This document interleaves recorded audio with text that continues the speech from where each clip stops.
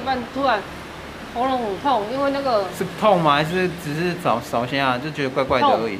痛，喝水也难，讲话也难，就是只要大力讲话，我的喉咙很痛。嗯。啊，那一天我不是早上就突然跑起来喝水，我就跟你说，哎呦怎么办？我的喉咙有点炸炸的。可是那一天晚上我好像有戴口罩睡觉啊。有，你都有。那时候我还没确诊之前都是戴着。不是啊，应该也不可能会有人戴着口罩睡觉啊，所以我不知道为什么我那一天晚上其实。呃，小姐姐要发病那一那一天那个晚上，其实我不知道为什么，我突然那一天晚上我就自己戴口罩睡觉。Hello，大家好，我是小潘，然后你嘞？我是小姐姐小林。哎，为什么会出现在这里呢？我先一个一个问啊。我们今天是记录一下，就是就是小姐姐确诊之后，一直完整到隔离这段期间，到底发生什么事，我们的感想哦。所以今天我们就是把它记录下来。嗯，好。还记得我们什么时候确诊的吗？就是什么时候发现的？因为他跟我讲说，他前面那个他公司的外劳也确诊啊，所以我就觉得，啊，不然我今天晚上我就戴口罩睡觉好了。然后，因为他回来的时候，他有跟我讲说他的喉咙不舒服，但是那时候还症状还没有很明显啊。然后嘞，然后后来就喉咙，晚上的晚上的时候就不知道为什么就很痛，痛到就起来先喝水。后来跟小帆讲说，我的喉咙炸炸的，已经快要炸掉了。OK。那我再去上班，隔天就是开心胃管。那一天你请假，就是那一天没有你没有去上班。对。啊，因为最主要的原因是因为你之前有跟我讲说，外劳外劳已经有确诊了，然后你就跟我讲说要不要去买快筛来来验看看。啊，那一天你刚好没有去上班嘛，所以那一天我们就刚好就有去药局排到排到一季。就是排到一盒那个快筛剂回来筛，嗯，啊，后来完了之后，隔天你又回去上班了，对，礼拜四我又去上班，哎，回去上班，结果公司的外劳又有一半的又确诊，确诊人更多，就休息确诊人更更多，后来索性我们礼拜五就去，礼拜五嘛，礼拜五还有上班呢，我还上到六点嘞，对啊，然后你回来的时候，你就说你喉咙不舒服，对。因为那个同事妹妹就说：“姐姐，你的声音都怎么都哑掉了？”因为那时候我就感觉好像怪怪的。不行，要那一天买快筛寄回来之后，我们有验，然后验的时候，小姐姐那时候是阴性的。对，那时候是阴性，第一个。对，第一天这个五月十八，这是还没确诊哦。哎。那之后我们就是不舒服。完了之后你要去上班了，对不对？对，十九号我去上班。哎。后来那天回来。公司那个大陆姐姐打给我，说小林，我验了有两条，你要不要验看看？因为因为他们在工作上面有近距离讲话。哦，姐姐在我对面。可是可是只是也有戴口罩啊。有，就是只有吃饭的时候会拔下来而已，总不能那个这边挖个洞这样吃饭的，是不是？啊，他就是在我对面这样吃饭，他其他时间我们都有戴口罩。哎。啊，他又说小林，我回去验两条线，你要不要去验看看？因为他他那时候他还是一条，就是你那时候十八号的时候还是认为是一条，对，还是这个阴性一条线而已。对对对。哎，我说啊，我这样不准，我干脆直接是医院验 PCR 会比较准。不是刚开始回来之后那一天，因为我跟他讲说，你每次验的时候，你的喉咙就是你每次都没有把棉花棒冲到这里面，因为有一些人就是鼻子往上，就是你往上捅。让它整根塞进去。对，因为有些人就是尾音性，就是有些人棉花棒没有很正确的往里面戳，就是它你要平行的戳到里面，可是有些都是浅浅的用往上戳，其实那不没效。这痛了就没有继续。对，那个没效。所以那个后来我就一直强迫说，也不是算强迫啊，就是一直跟小姐姐说。你一定要把你的棉花棒平行的，就是伸到里面去，采集到里面的黏膜，嗯，你才会准确。结果果然，伸进去之后，真的就两条线了。就那一天来，你你拿出来，这是第二次，拿上来一点，有没有，就开始微，有一点微微的若隐若现，而且它随着时间越摆越久，它颜色会更红。懂吗？就开始这里，有没有？第二条已经出现了。好，看到。然后这个时候你的症状是怎么样？你跟大家讲。喉咙有痰，然后喉咙肿起来。喉咙有肿起来。有一点。啊有痰。后来为什么会慢慢好？慢慢好是因为那个小凡的妈妈都有每天拿那个柠檬烯两颗，后来再教教我加盐巴，可是那个柠檬烯会会灼伤喉咙，所以我又给他加那个蜂蜜。啊，我为什么会没有痰？就是因为柠檬烯加那个蜂蜜，那加下去隔天痰就好。还有防疫期间，这时候你要多睡，你要睡饱吃好，要让自己身体好好休息。反正我的要求也是蛮严格的，因为有一些人可能自己自主在家隔离的时候，他可能自己一个人房间，但是他也没有戴口罩。可是我为什么那么多天阴验还是阴性的？就是因为我要求他第一天开始，他就是戴口罩，然后只要去厕所。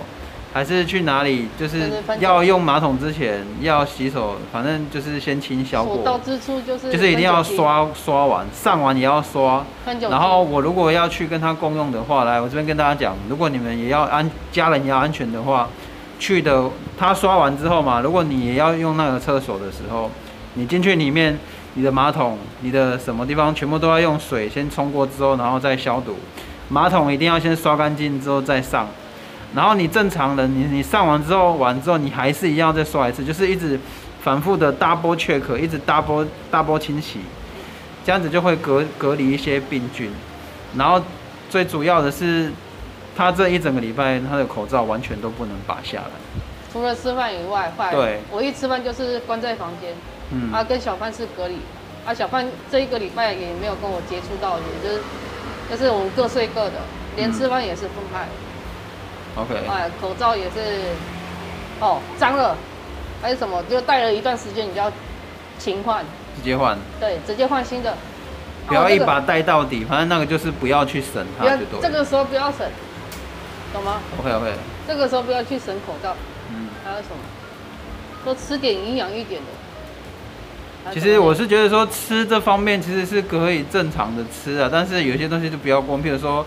像如果你有喉咙问题的话，你就炸的部分跟会刺激的辣的部分就是不要吃，最好就是吃粥啊什么这样是这就就最最温和的，这样子。像我觉得我反正你就是跟正常，反正大家如果最重要的一点啊，就是说你要你要免疫要好的话，其实你最主要是你的新冠肺炎的那个预防针，你一定要打满三剂以上。一定要打满三剂，不管你是打什么 A 利、莫德、莫德纳、BNT 高端。因为我们这边，我们这边也没有在跟你讲什么，说你打了哪个厂牌之后，还是症状会比较好、比较轻。我们现在不要用这种导向啊，我们就是说，最起码啦，你要防保护自己的话，你三季你一定要打满，因为现在开始要打第四季了。嗯。所以我们接着会未来会慢慢打到第四季。像我的症状那你你觉得你这一个礼拜在居家隔离，你觉得对屏东呃一些隔离的管制之类的，你有没有什么想法或看法？我只是很纳闷，为什么没有收到关怀包？屏东这个部分，我不知道为什么屏东好像没有关怀包。我那个原住民同事也有收到三是防疫包，不是关怀包。对啊，防疫包啊，还有那个内埔的也有啊。虽然说内埔确诊的有两千多人，只是我有一些打电话一九二那个打电话来。一九二二啊，一九五七啊，什么老公生病紧急那些，我全部都打了，都是一样。嗯。啊，啊，唯一。当其他人靠不住的时候，就只能靠自己，懂吗？那你在隔离这期间，其实我们在隔离期间，我也是没有给他吹冷气，因为据说病毒是对于比较高温的七天嘛。对，病病毒在于高温的环境，它可能不是那么活跃啦，所以我在让他关在房间里面。其实我那个房间里面是有冷气，但是我们也没有让他开冷气，因为他就是一般的电风扇，然后关在房间里面。只有吃饭的时候会把门关起来，好，然后口罩拿下来，啊其他时间其实一律都是戴着口罩。对。我去东哪的那个，我还去改良，我还去去研究那个回纹针，就给它绑这两侧，让自己戴比较有没有？因为我脸比较小，口罩会滑下来。嗯。所以我去研究这个回纹针，绑在后面，让这个口罩可以紧箍在这里，会有多多的空隙可以这样透出来。OK。懂吗？好，这是今天跟大家分享，就是呃，小姐姐就是确诊之后到现在解隔离完之后的情况哦。已经第十天了。哎，重点在于说，现在大家我觉得要正确有那个正确的心态去看待确诊者了，因为现在还是会有一些人就是会觉得说啊，你确诊了，我所以我就跟你有一点疏离感啊，就。不管是亲，不管是朋友还是亲人也好啦，就是大家就是。不要说因为确诊哦，你是病人，我好可怕，你们消毒啊？那我有一点，我晚一点再去找你好了。都我还是一样，我还是一样的，我们都我们是带原者，我看。哎，我们还是会戴着口罩，就是正常这样子生活。正常的生活。会慢慢转成阴性的，就是就是说，大家对于亲朋好友之间眼光啊，或者你们对于那个确诊者的看待这。方面其实大家应该是不要说要做调整。他确诊了，说哦，不要这样，请以平常心。现在去到哪里都是病毒，都是确诊者。对，可能很多也有一些可能他真确诊，可是他也把它当成小感冒，他也不跟你讲。可是如果你去跟他讲话，还是也是可能会中，也是有可能啊，不是说每个人都是这个样子啊。那我也是为了自己，为了家人，所以还是。自己把自己关在。所以这是完，这是之后之后你那个确诊之后的感想，跟那个隔离完之后。哦。其实确诊是现在这个病毒其实没那么可怕。嗯。可是如果说你有打满三针的话，对你来说它可能就比较不会那么可怕，像小感冒一样。可是如果在于你没有防护的人啊，就会比较危险一点点。对啊，我同事他们还在绕赛呢，还在复线。对啊，是最好是打满三针啊，因为现在第四针要开始，所以我的症状是比较轻微一点。大家还是要为了保护自己，还是要多去。我还有问中医师，中医师说我的状况良好，不需要到清冠一号。好。然后嘞，现在要做 ending。现在。对。祝大家身体健康啦！啊，防疫就好好的防疫，就不要去想太多。